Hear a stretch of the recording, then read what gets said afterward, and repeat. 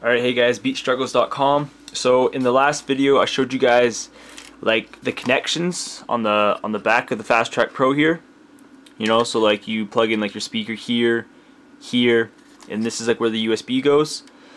So um, the missing the like the missing link I guess was like the actual computer. So like you know like we, we plug it in USB. You you plug in like your your cords here So uh, just like I showed you guys, like it was like the left and right speaker on the other video, and then like let's say like you have like a microphone. So this is like an XLR cable. Has like the three pins, and it literally just just plugs in. So, and then you have like control over like your volume knobs and stuff, or however like however loud you want like your vocals. But so now from there it goes right into your computer. So it's it's li like literally that simple. But you know, like when you're first starting up and you have no idea what's what, it's a little bit more complicated than that. But so that's what it is. You know, like, your microphone cable, speaker cables, and then the USB cable that goes from here, literally just right into your computer.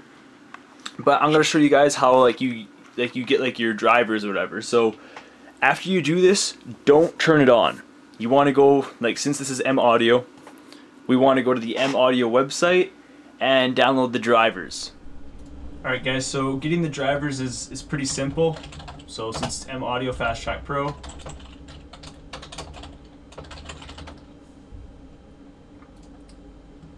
go to the drivers and then whatever you got. So um, I have Windows 7 64-bit. How you find it out, you go start, my computer, like computer, right click, go properties, and the system type is 64-bit. And then I have Windows 7, so Windows 7, 64, click on install, go down here, you click install, you download it, and what it's going to do is it's going to it's to give you this. It just kind of gives you uh, flexibility over over like your interface.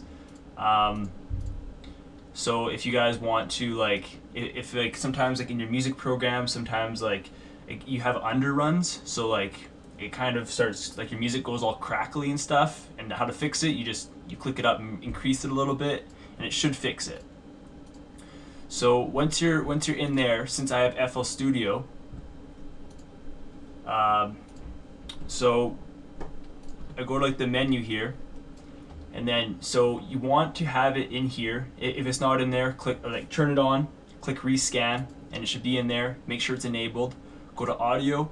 Um, I'd highly recommend going on the M Audio USB ASIO, except I just have problems with it, so I'm on the ASIO4ALL. Uh, you click that, you want to make sure it's enabled, the Fast Track Pro. And then to, if you want to record your vocals, you just um, go to the in, and then you choose like your microphone or whatever, and that's it. So this is GratuiTous, beatstruggles.com. Be sure to check out my um, my SoundClick layout. It's just in the works right now. It should be up soon, but um, if you guys have any questions about the, the Fast Track Pro, about how to set it up, just uh, leave it in the leave it in the comments, and talk to you guys later.